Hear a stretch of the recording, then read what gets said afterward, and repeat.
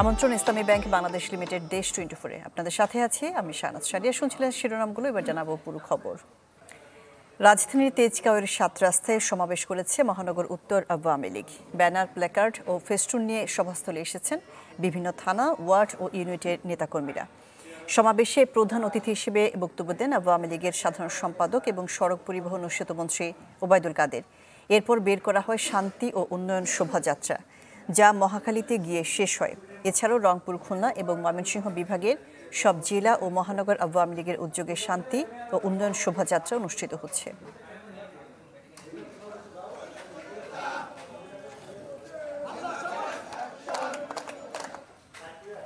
আওয়ামী লীগকে আর ছাড় নয়। গতকাল সারা দেশে যে হামলা হয়েছে, তার জবাব দেয়া হবে। রাজধানীতে দ্বিতীয় দিনের পদযাত্রা পূর্ব সমাবেশে এই মন্তব্য করেছেন বিএনপির স্থায়ী কমিটির সদস্য মির্জা আব্বাস। অভিযোগ করেছেন, শান্তি মিছিলের নামে অশান্তি তৈরি করছে ক্ষমতাসীনরা।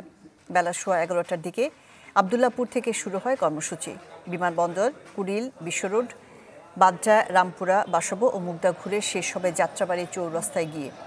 গত বারো জুলাই নয়াপল্টনের সমাবেশ থেকে সরকারের পদত্যাগের এক দফা দাবিতে আঠারো ও উনিশ জুলাই পদযাত্রা কর্মসূচি ঘোষণা করে বিএনপি।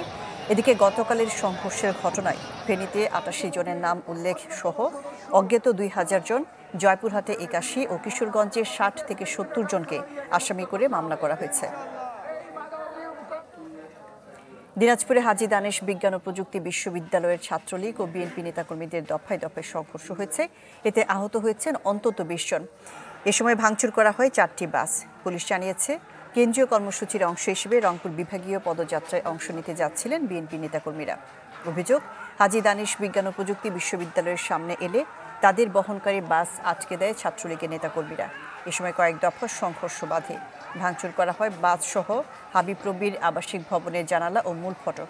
পরে পুলিশ গিয়ে পরিস্থিতি নিয়ন্ত্রণে আনে। জি জি জি জি।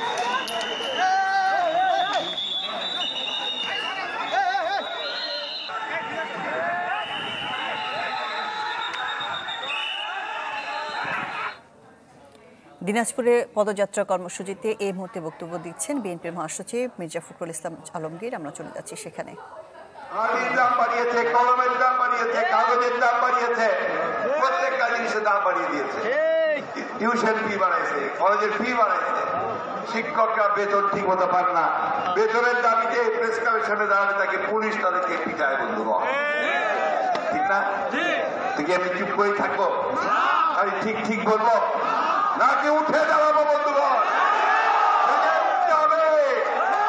এই যে বাবুল বলেছে, নুরুল দিনের নাম। কৃষক নেতা ছিল। সে কৃষক নেতা ব্রিটিশ আমলে, ব্রিটিশদের বিরুদ্ধে বিদ্রোহ ঘোষণা করেছিল। এবং এই বিদ্রোহের মধ্যে সে প্রথমে যে কথাটা বলেছিল, তা হচ্ছে কুঠে বাঘে সময় জেগে উঠেন বন্ধুগণ।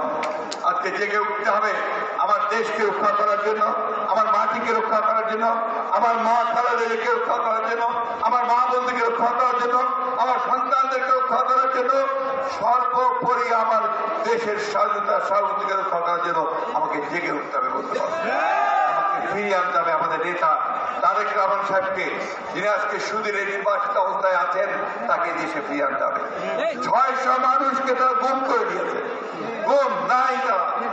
আমাদের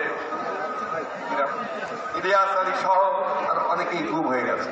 আমাদের ছাত্র দলের নেতারা গুম হয়েছে যুব দলের নেতারা গুম হয়েছে। লোককে তারা হত্যা করেছে। তারা থানায় নিয়ে গুলি করে বেড়েছে বন্ধুগণ, এই অবস্থা শেষ পরিণতি আমরা দেখতে চাই। খুব পরিষ্কার করে আমরা বলেছি যে আমরা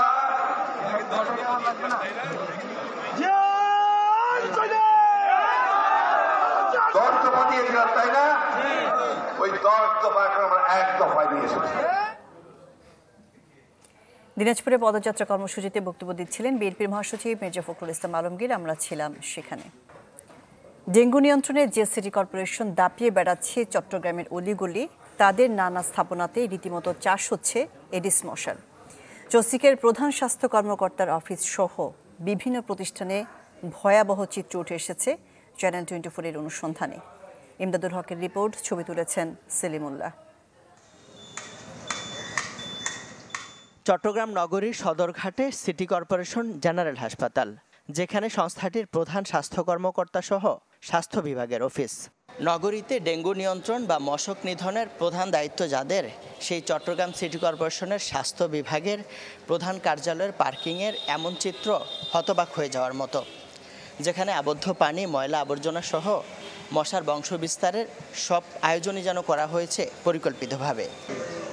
আরও ভয়াবহ অবস্থা দেওয়ানহাটের সিটি কর্পোরেশনের মালিকানাধীন মার্কেট, পোর্ট সিটি কমপ্লেক্সের নিস্তলায় জমে থাকা পানিতে গিজগিজ করছে মশার লার্ভা। যেখানে গত ছয় মাসেও কর্পোরেশনের পরিচ্ছন্নতা কর্মীদের পা পড়েনি বলে অভিযোগ দোকানিদের। একই অবস্থা অলঙ্কার এলাকায় সিটি কর্পোরেশনের কাঁচা বাজারে। সিটি কর্পোরেশনের মার্কেট এটা কোনো তদারকি কম। মশা বেশি দিনে রাতে সব সময় মশা। আমরা ভয়ের মধ্যে আছি এখানে কোনো স্প্রে বা কিছু করা হচ্ছে না। ছয় মাস পূর্বে একবার স্প্রে করে গেছিল সামান্য করে। পুরোপুরি পুরো মার্কেটে করে নাই। বেশি হয়ে গেছে মানে মশা মাছি বেশি হয়ে গেছে। একটু মাছ দিলে বা ভালো। কর্পোরেশনের প্রতিষ্ঠানে মশার এমন প্রজনন খামার নিয়ে কোনো মাথা ব্যথাই নেই স্বাস্থ্য বিভাগের। মশার বংশবিস্তারের কারণে অন্যান্য প্রতিষ্ঠানকে জরিমানা করা হলেও নিজেদের বেলায় শুধু ভর্ৎসনা করার কথা জানান প্রধান পরিচ্ছন্ন কর্মকর্তা। সিটি কর্পোরেশনের যে ওইসব প্রতিষ্ঠানের যিনি দায়িত্বে আছেন, তাকে অবশ্যই আমরা এটা ধরেন আমরা যদি জরিমানা নাও করি, আমরা কিন্তু ভর্ৎসনা করব যে কেন তার অবহেলার মাধ্যমে এখানে লার্ভা সৃষ্টি হয়েছে।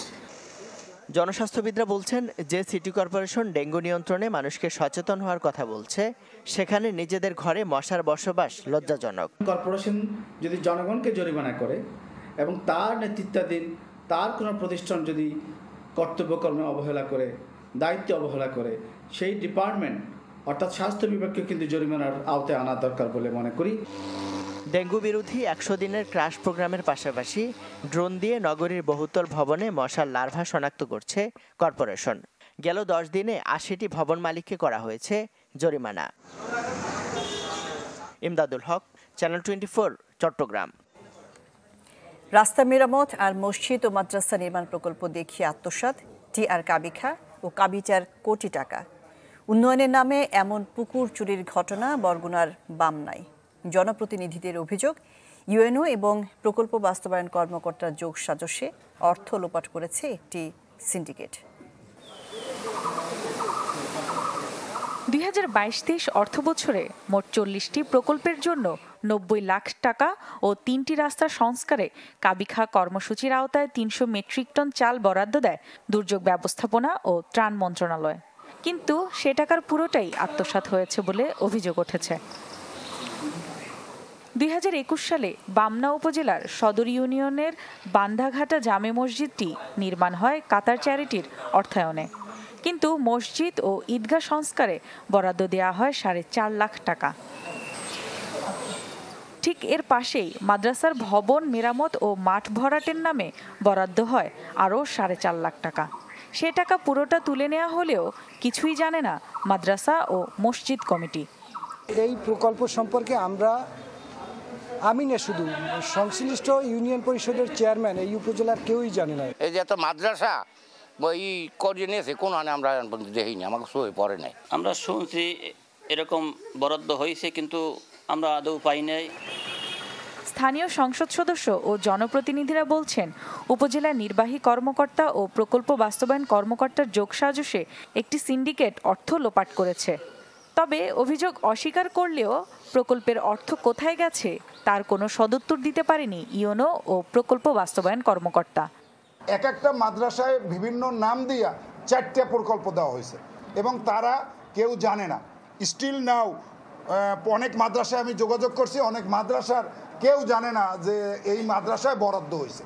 তাইলে এইটা পিআইও বা ইউনো সাহেব কাকে এই টাকা দিল? আমার বোধগম্য না। এটা মন্ত্রণালয় থেকে আমাদের কাছে পাঠানো হয়েছে।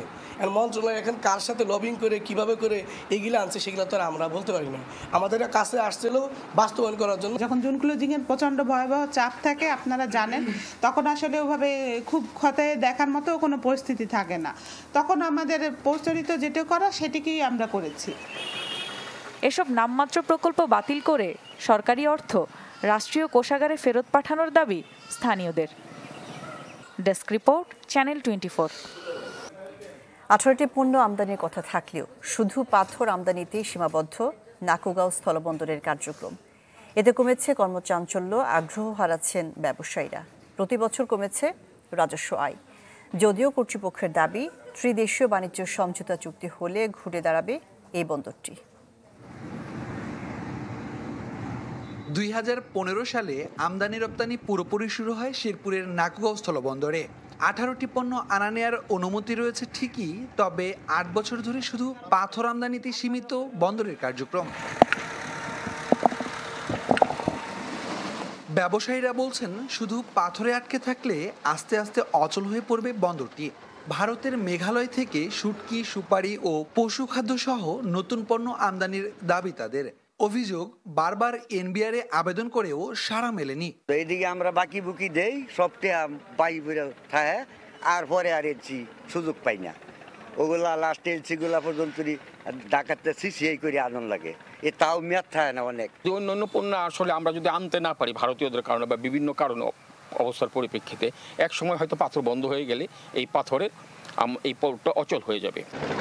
যদিও কর্তৃপক্ষের দাবি বন্দরকে আরও গতিশীল করতে কাজ চলছে। আর ত্রিদেশীয় বাণিজ্য সমঝোতা চুক্তি হলে নাকুগাঁও বন্দর ঘুরে দাঁড়াবে বলে মন্তব্য করেন ভুটানের রাষ্ট্রদূত। ভুটানের দ্বিতীয় বৃহত্তম বাণিজ্যিক অংশীদার বাংলাদেশ। দুই দেশের মধ্যে বাণিজ্যে গুরুত্বপূর্ণ পয়েন্টে রূপ নিয়েছে নাকুগাঁও স্থলবন্দর। এই বন্দর সংস্কারের মাধ্যমে দুই দেশের বাণিজ্য আরও বাড়ানো সম্ভব। এর উন্নয়ন এবং সম্প্রসারণে আমরা সব ধরনের সহযোগিতা দিতে প্রস্তুত। কোটি টাকার বেশি শুল্ক এবং দুই কোটি টাকা ফি, প্রায় দশ কোটি টাকা রাজস্ব আদায় হয়েছে সরকারের জন্য। খুবই গুরুত্বপূর্ণ একটি স্থলবন্দর। এবং সুতরাং এটা উন্নয়নের জন্য বা আরও কীভাবে আমদানি রপ্তানি বাড়ানো যায় সেই লক্ষ্যে আমরা কাজ করব। যদি সকল ধরনের পণ্য এই বন্দর দিয়ে আমদানি রপ্তানি হয় এবং এই বন্দরটাও আরও গতিশীলতা আসবে এবং সেক্ষেত্রে আমাদের পর্যাপ্ত সক্ষমতা আমরা প্রয়োগ করতে সক্ষম হব। বৈশ্বিক মন্দা ও ডলার সংকটে দুই হাজার একুশ বাইশ অর্থবছরের তুলনায় দুই হাজার বাইশ তেইশ অর্থবছরে নাকুগাঁও স্থলবন্দরের আয় কমেছে দুই কোটি একষট্টি লাখ টাকা। Imran Hasan Rabbi channel twenty four Sherpur ময়মনসিংহের ইলেকট্রনিক্স ব্রাঞ্চ, কনকা গ্রি ও হাইকো পণ্যের উৎপাদনকারী ও বাজারজাতকারী গ্রুপ ইলেকট্রোমার্টের সেলস অ্যান্ড ডিসপ্লে সেন্টারের উদ্বোধন হয়েছে। দুপুরে নগরী সিকে ঘোষ রোডে এই সেলস অ্যান্ড ডিসপ্লে সেন্টারের উদ্বোধন করেন ইলেকট্রোমার্ট গ্রুপের চেয়ারম্যান মোহাম্মদ নুরুন নেওয়ারা সেলিম। অনুষ্ঠানে গ্রি এয়ার কন্ডিশনারের দক্ষিণ এশিয়ার প্রধান রায়ান ডিএমডি মোহাম্মদ নুরুল আফসার সহ অনেকেই উপস্থিত ছিলেন। এই ছিল ইসলামী ব্যাংক বাংলাদেশ লিমিটেড দেশ টোয়েন্টি ফোরে। সাথে থাকার জন্য ধন্যবাদ সবাইকে।